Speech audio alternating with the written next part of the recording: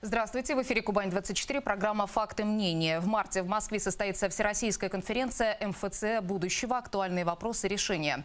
Ожидается, что участниками встречи станут около 400 руководителей со всей России. Им предстоит обсудить ключевые направления деятельности МФЦ, поднятые Владимиром Путиным в ежегодном послании Федеральному собранию в марте прошлого года.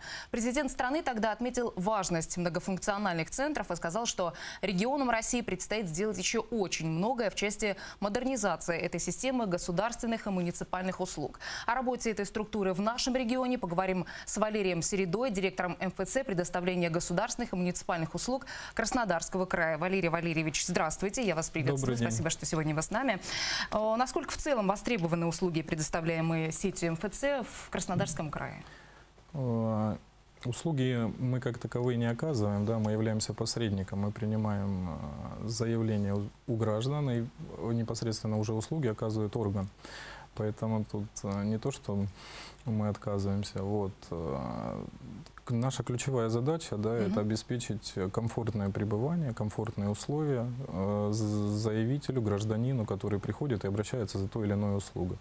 А, количество обратившихся из года в год только растет. Этот показатель, конечно, наверное, самый объективный, о том, что люди знают, люди верят и люди идут к нам. Самая главная задача наша, она не только, наверное, нами определена, она определена и на уровне Российской Федерации, да, это удовлетворенность граждан. Mm-hmm. Это такое оно обширное, объемное понятие, но оно на самом деле Э, для нас первостепенно, и мы стремимся к тому, чтобы человек вышел прежде всего довольным от нас. Первый филиал или отделение МФЦ на Кубани э, где появилось э, и когда это было?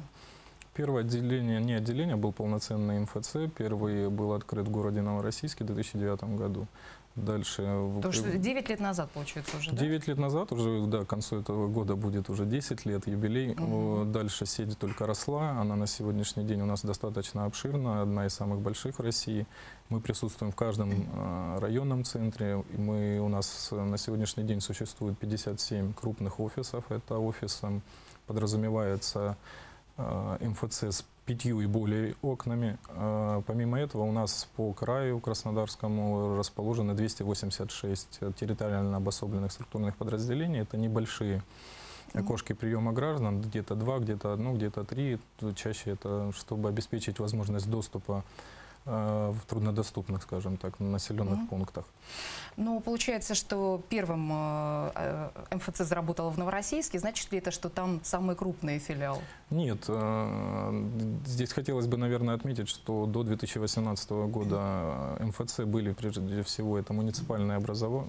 муниципальные учреждения, угу. которые э, открывали муниципальное образование на свое усмотрение. И в 2018 году с 1 января было принято решение на уровне Краснодарского края о том, что мы теперь централизовались, мы теперь одно юридическое лицо, большое учреждение с численностью более двух с половиной тысяч сотрудников. Угу. Ну, о сотрудниках мы чуть позже поговорим. Да, да. Все-таки крупные, наверное, Самый, самый крупный, столице, теперь, да? да, это филиалы нашего угу. учреждения. Самый крупный филиал, это, естественно, город Краснодар, в котором шесть отделов.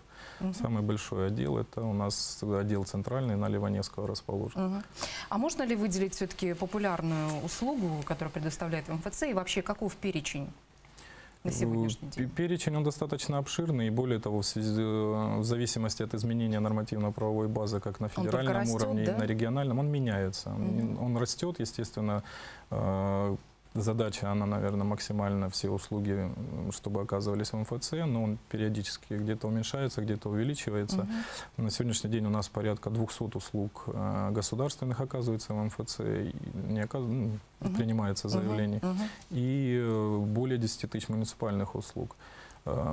Самое востребованное, ну... Но есть же все-таки несколько направлений. Может быть, не одно, а несколько. Давайте ну, несколько направлений. Это самые востребованные услуги. Это, наверное, прежде всего регистрация права. Э, тем более в нашем uh крае, который uh активно застраивается. Uh Это услуги по регистрации по месту жительства, это услуги по выдаче водительских удостоверений. Uh Ну, тут тоже те непосредственно услуги, с которыми мы сталкиваемся в жизни, в жизненных ситуациях, и заявители обращаются. Ну, сейчас уже настолько избалованные люди, что по всем вопросам знают, что в МФЦ им точно помогут. Бывают ли какие-то странные, на ваш взгляд, обращения? Ну, он- они не странные, вы здесь, наверное, правильно говорите. Все знают, что есть МФЦ, это уже достижение, это уже Мгм. показатель работы, что мы не зря существуем. Да. Да-да. Все знают, что в любом случае возникает какая-то жизненная ситуация, идут в МФЦ. Да, случаются странности, но это жизнь. С какой просьбой Да, приходили? с разными приходили э, просьбами и проконсультироваться, и рассказать, что сделать. Ну, то есть... э, Ну, вы с любой, с любой таким? жизненной ситуацией. Ну, мы не то, что при- привыкли, мы работаем все-таки в сфере обслуживания, Для в людей, да? социальной сфере. Мгм. И, да, прежде всего мы ориентированы на заявителя. Поэтому, ну, естественно, у- все специалисты обучены, универсальны, Мгм. и они никогда никому не отказывают. Понятно, что все мы люди. Уже скоро 10 лет, как МФЦ существует э, на Кубани. За это время сколько удалось э, ну, принять, обслужить людей? Сколько Ну, человек?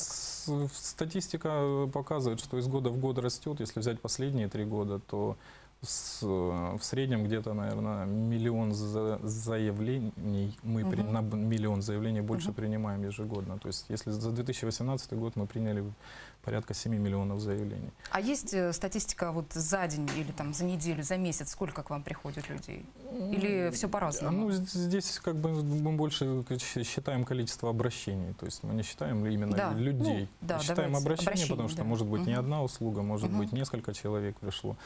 Вот. Ну, в месяц, э, если даже взять сейчас январь, э, за январь 2019 года мы уже приняли более 500 тысяч обращений. Ну, Это нормально по сравнению с прошлыми сезонами?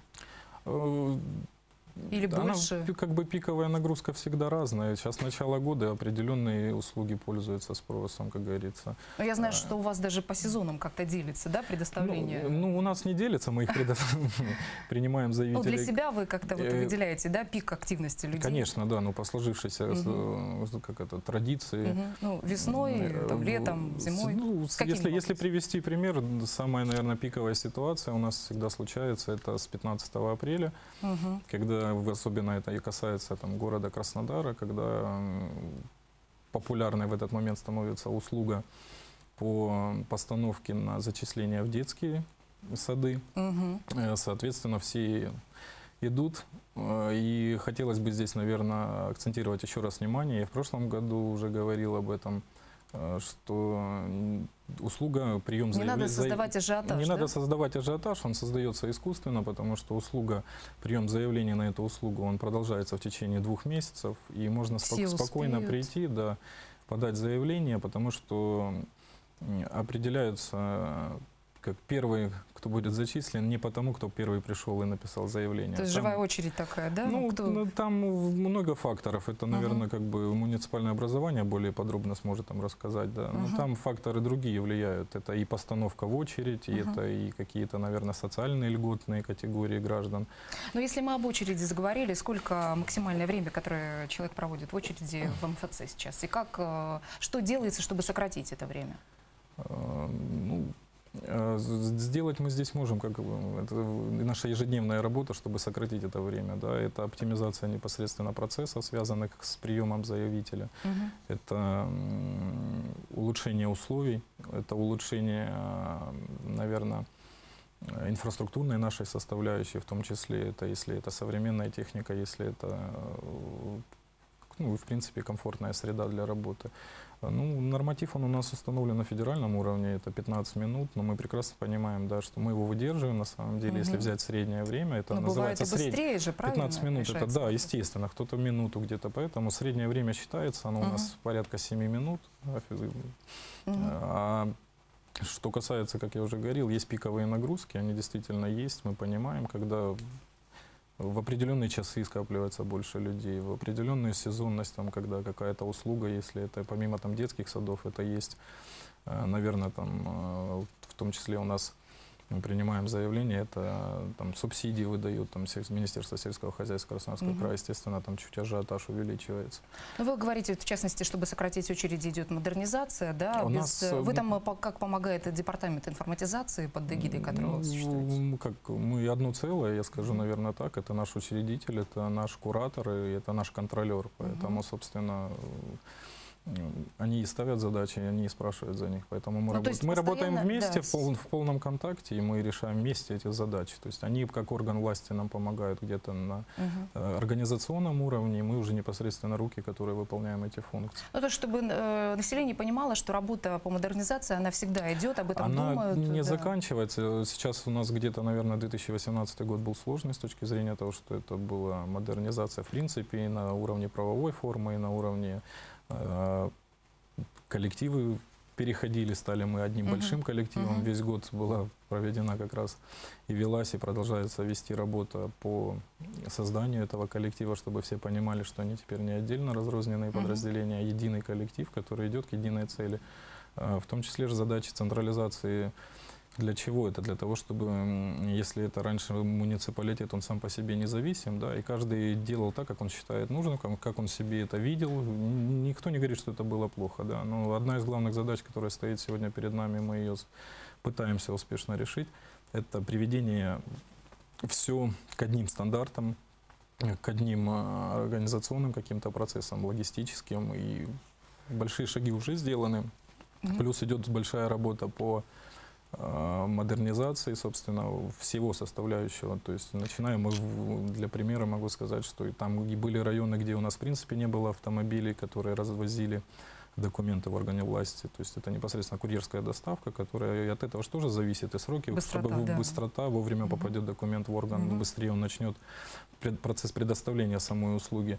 Вот мы в 17 районах поменяли машины, либо в 9, где их вообще не было, собственно, Они появились, они да? появились. Да. Вы говорите о большом коллективе, больше двух тысяч человек, по-моему, да, работают во всех э, филиалах. Как удается контролировать работу такого количества А, сотрудников? з- Да, здесь нужно отдать должное непосредственно руководителям филиалов. Они все остались, они все в процессе централизации перешли из муниципальных учреждений. Это ну, 95, наверное, процентов это масса людей, которые стояли у истоков создания МФЦ на территории Краснодарского края. Поэтому не их учить, они знают, они создавали свою работу, Они да? создавали эти коллективы, они создавали МФЦ, и как бы здесь им большое спасибо, что Продолжают сохранять это, они да? это все не то, что сохраняют, они это приумножают, и мы вместе идем.